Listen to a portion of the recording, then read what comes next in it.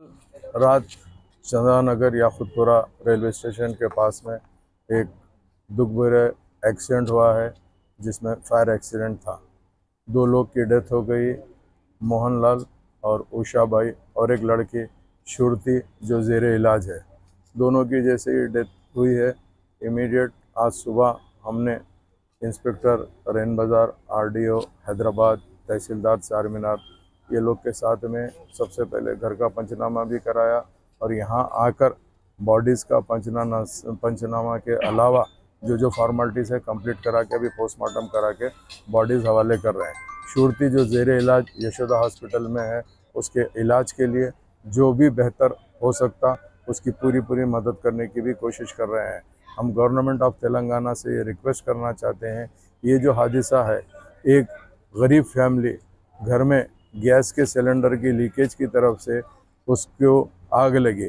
क्योंकि दिवाली का मौका था, थोड़े से दिवाली के फेस्टिवल के हिसाब से क्रैकर्स लाए थे खुद छोड़ने के लिए, वो क्रैकर्स भी जले। जल बर्निंग से ज़्यादा सफोकेशन की तरफ़ से जो भी स्मोक निकलता है वो पूरा लंग्स में जाने की तरफ़ से दो की डेथ हुई है। शुरती के भी लंग्स में ज़्यादा स्मोक जाने की तरफ़ से उसको क्लियर करने की पूरी कोशिश कर रहे हैं यशोदा हॉस्पिटल के अंदर।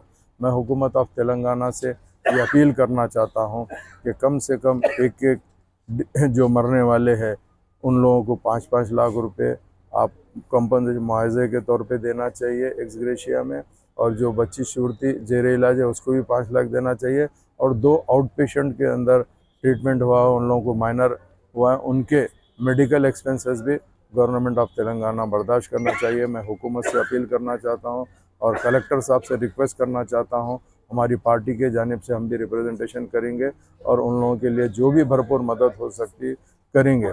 क्योंकि एक ऐसा दुख भरा वाक़ है जिसके अंदर हम इसका कोई बदल नहीं दे सकते, सिर्फ़ इनके फैमिली मेंबर्स के साथ में हम बराबर शरीक है, उनके दुख में हम शामिल है।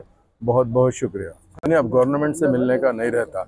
जब इंसिडेंट होता है इमीडिएटली मैं खुद बहसीत इलेक्टेड मेंबर वहाँ पहुँचा हूँ। और वहाँ पहुँच के गवर्नमेंट मशीनरी को रिक्वेस्ट किया हूँ। आरडीओ आने का मतलब यह होता है कि on behalf of government RDO साहब आके जो भी फॉर्मेलिटीज़ हैं कंप्लीट कर रहे हैं। इसीलिए अब इसके बाद की जो फॉर्मेलिटीज़ होती है, मैं खुद बराबर नुमाइंदगी करूँगा, कलेक्टर साहब को पर्सनल लेटर भी लिखूँगा, बात भी करूँगा, उनसे मिल के जो भी बात की कार्रवाई करेंगे, सबसे पहले जो हादसा हुआ हुआ है, उसको मुकम्मल करने के लिए ये डेड बॉडीज़ को हम रिलीज़ करा के पहुँचाएँगे, ताकि उन लोगों के जो भी लास्ट फॉर्मेलिटीज़ होती है, वो उन लोग कंप्लीट कर सकते हैं अकॉर्डिंग टू उनके कस्टम्स के हिसाब से।